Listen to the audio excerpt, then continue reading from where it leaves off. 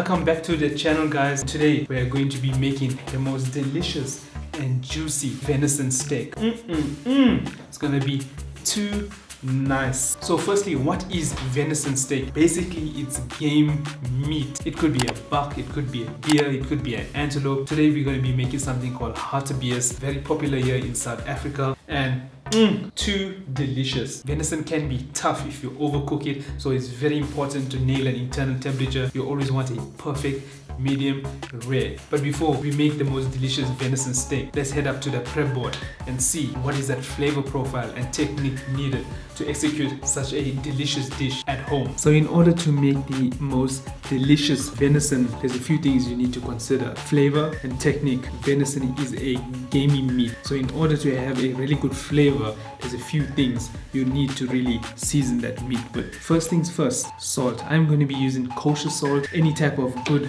coarse salt will do. As soon as meat hits a hot pan, you're going to be losing around 30% of that salt. So very important to use a good coarse salt to season your meat. Next is always a must and that is pepper. Pepper is very important when it comes to meat. Really gives it that nice fiery taste.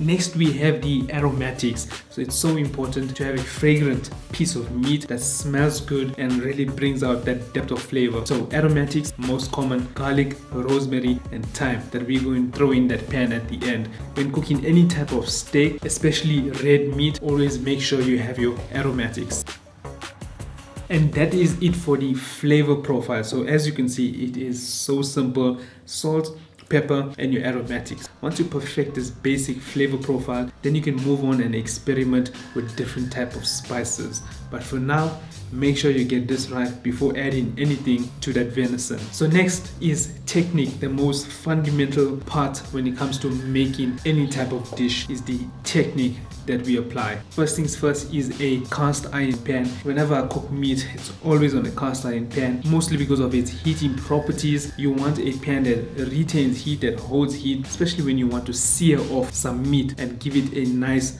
crust on that outside. Next is the type of oil that we're going to be using. We're going to be using canola oil. Now, if you watch my previous videos when I made the steak, whenever you cook at high heat, you cannot use olive oil because of its smoking point. You want something to handle a high smoking point, which is vegetable oil, canola oil. Next is the internal temperature of that meat. Whenever you eat a type of red meat, you want it to be medium rare, especially when it comes to steak, venison. You want that nice pink center. So in order to have an internal temperature of around 60 to 70 degrees Celsius, you have to pay attention to your cooking time. So for venison is a little bit different from a normal piece of steak. It is very important not to overcook venison. This is a tough meat that can dry out very fast. So you need to make sure you monitor that piece of meat once it's on the pan. The best time to cook venison, especially on a gas stove, is around two minutes on one side as the first cook. Once you flip it over, one and a half minutes for the second side. Anything over could overcook your meat 30 seconds can really do some damage. The next thing we need to do is once it's on the second side of it cooking, on the last 30 seconds we want to baste it with our butter and aromatics. And last but not least on the technique side is that resting period. It's so important to keep that meat resting for a certain period of time if you want that perfect pink center. I normally rest a venison for around 6 minutes which gives me a perfect and juicy steak. And that is it on the technique side. So we have our flavor profile, we have the technique. Now we are able to execute a venison dish and make the most delicious and juicy tender piece of meat. So let's get to it. Why don't I add in a bonus and that will be cauliflower puree. Cauliflower puree. Mm -mm -mm. It's gonna be too nice. Having a juicy game meat with a nice puree is just gonna be Anyways, let's get to it. So now you've seen the flavor profile and the technique needed to make the venison steak. Let's put it to a test. I have two beautiful pieces of hartebeest venison steak. First things first is seasoning. We spoke about seasoning, salt. I'm going to be using kosher salt, Himalayan salt, perfectly fine, sea salt, perfectly fine, as long as it's a little bit coarse. Some pepper, black pepper, a bit of a dab, Always get that salt and pepper in the meat. Wipe the edges with the extra salt and pepper on the board. Let's turn up the heat. Really high heat. You want that cast iron piping hot. You want to sear it out quickly and get that nice crust on the outside. I'm going to throw in some canola oil, pour antelope.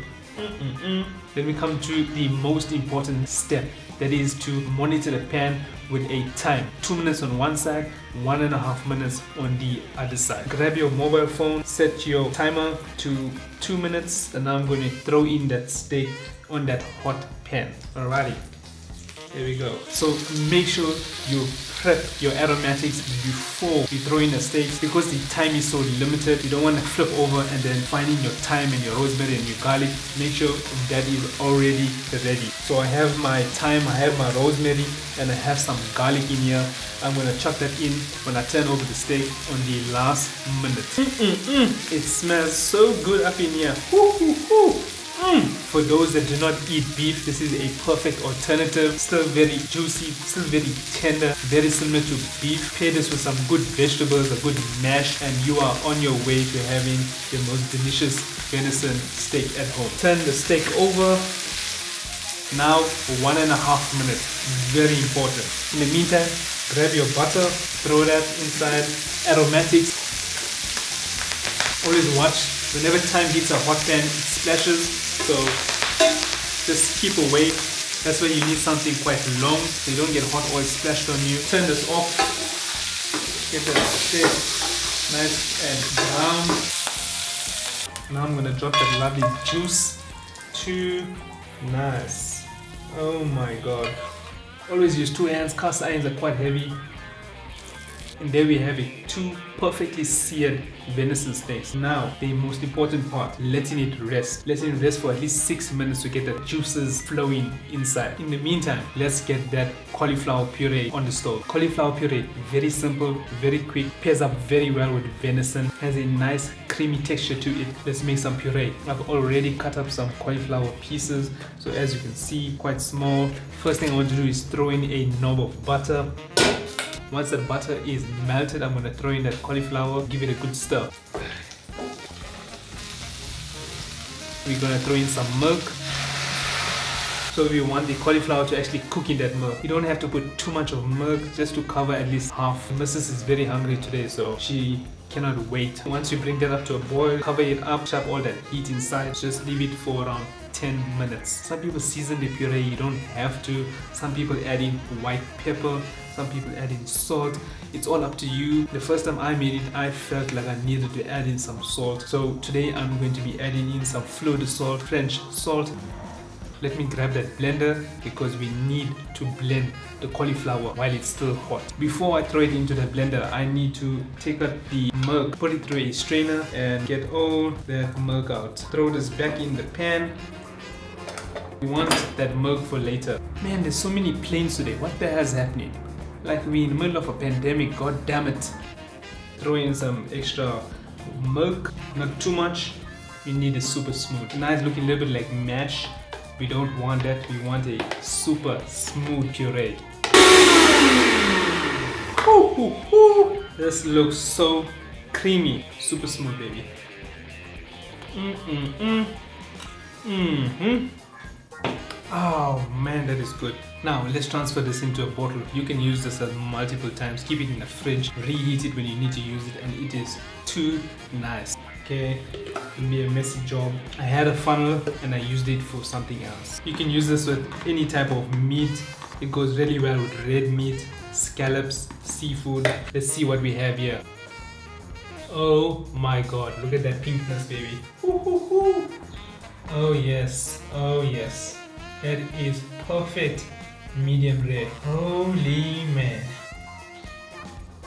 Mm -mm -mm. Oh my god. -hmm. So if you want to be fancy, take a beautiful piece of meat, lay that down on top of your puree. And there you have it people, the most delicious and juicy venison steak made at home. It smells so good, that puree is so smooth and delicious. This venison steak has a good sear, nice peppery flavor and that salt is just on point. The missus is going to love this. Just have a look. If you could only smell this, whew, I hope you enjoyed this video. If you did, give it a thumbs up and don't forget to hit that subscribe button. This brings it to the last video of the first season new season coming up very soon. Cannot wait. We're just going into winter which means date night meals. I'm talking short rib oxtail pork belly all of the most tastiest dishes made at home. So don't forget to hit the subscribe button and the notification bell. And when the second season is up you will be notified. Let me just quickly steal a piece Mm-mm-mm. Damn, seasoning is on point and I cannot wait for you to try this at home. That is it from me guys and I will see you on the next one.